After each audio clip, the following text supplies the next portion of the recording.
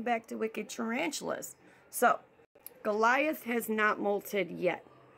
She's getting a little bit closer. All my Aphonopelma seemannis, when they molt, it takes 90, 180 plus days for the molt. She actually ate yesterday, so she isn't refusing to eat, so that means it still may be a long while. This is her final molt. This is the molt where her capias will get much larger. So I can't wait to see that. So I kind of redid her, her exhibit just slightly for those who remember how I do my enclosures for them. I try to make it lifelike, natural. So I had to put a different bowl in there because the bowl I had in there that was supposed to be made for water, well, I guess the way it was made, it was losing water exceptionally fast. Hence, that's why the substrate is so dark over there. So what I did is I tested this bowl and another bowl, and I left them both in the exhibit for three days. This bowl was still basically full. The other bowl was completely empty. And when I picked up the bowl, it was soaked. And there was no cracks. So I'm thinking the little spores from it being made, it was slowly leaking. We can't have that for Goliath. She needs to have her water.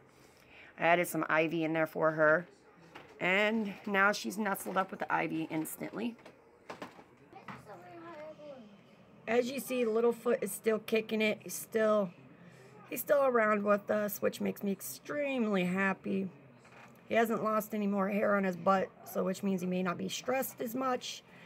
Um, he did not eat for me the other day, but I was making him eat two times a week for a while because he was getting extremely skinny. So I tried to plump him up, and it actually worked. His rump is a lot larger than what it was. He does not use his hanging hide on the inside, but he did build a web on the back of his hanging hide, and he utilizes the top, the back, and the sides but he has not actually physically used the hanging hide, which that's okay. He's still using it in some form of way. So he's still got all his thousands of sticks. And then you see him chilling right there. He's sleeping. I would pet him, but I don't want to stress him out right now. He's finally resting. So that's what Littlefoot's doing. And then today, I changed the bedding in my Asian Forest Scorpion Rico's exhibit and I dropped the substrate amount because he does not burrow, he does not dig, he just uses the hide and utilizes it pretty well. So cleaned everything up, put a couple plants in there because I was finally able to, and now he is happily resting in the front of the skeleton's head, whatever kind of skeleton head it is. So he's happy. And then here is Carl Diago. Carl Diago has a very good appetite has not refused to eat once, although I don't see him unless I turn the exhibit a full 180 and I peek through his little hole. Alright, and then in here is my juvenile Aphonopelma seemanni suspect male. He completely closed off his burrow on the right side of the screen. So I had to poke a hole through the top of the hide to get feeders in there because I want to make sure he's eating. His hair on his abdomen is starting to get a little rough, minus all the dirt, which is typically what happens with this one before he starts to enter pre-molt stages. And this one does not eat when it's close to molting. And in this exhibit, you have cactus. Sorry, I have to think because I have two two of these beautiful, fluffy guys. And I have the exhibit set up a certain way so I don't get myself confused on who is who. So this is Cactus. Loving his tank. Very good. Fed him three crickets the other day. Yes, I feed them a lot, but they haven't ate for a while. And then this exhibit is Curls. Sorry, correction. This is Cactus. That is Curls. Curls has red. Cactus has a jungle, literally a jungle. So I got it cleaned up a little bit today. Got some of the water spots off, not very many. He also ate a couple crickets the other night, webbing everything up. Living life to the fullest. So he's doing good. Had to take some of the substrate out of my Pac-Man Frogs tank because it was like exceptionally high. Like that's a lot of substrate. I had it like up to here. And he wasn't getting his food. So therefore I took some of it out. That way I am able to feed them. And in this enclosure is Cookie, my other Aphonopelma seemanni. And he is hiding, kinda. see his legs. He took three crickets the other night.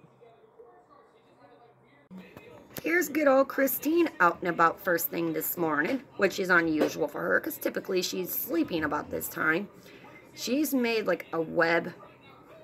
She's webbed everything. Like the glass is webbed up.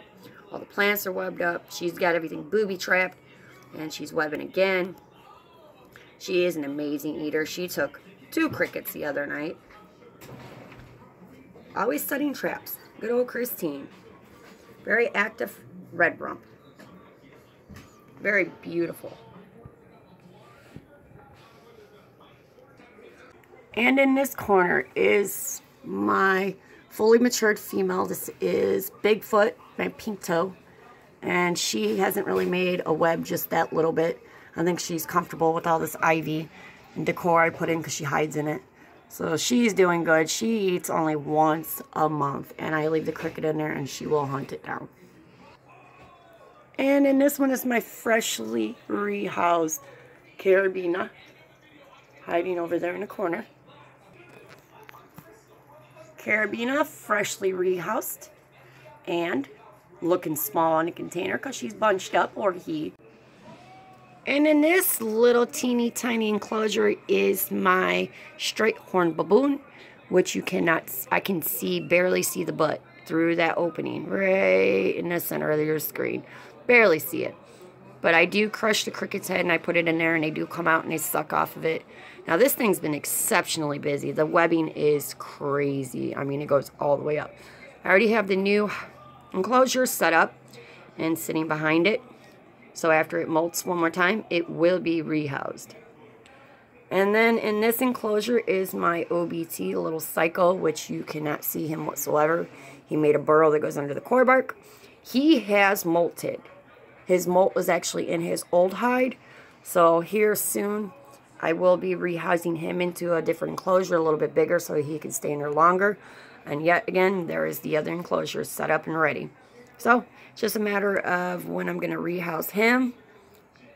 And when my straight horn baboon molts, then I'll give it a several weeks and I'll rehouse that one. Got some much better bedding for Garfield, our Syrian long-haired hamster.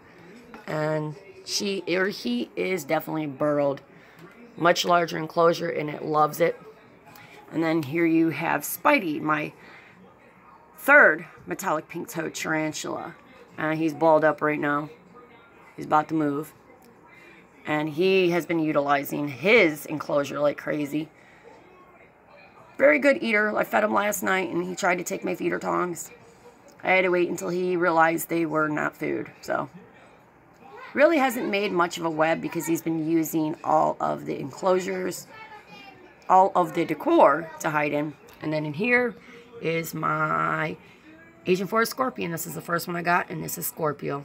She's out chilling, relaxing.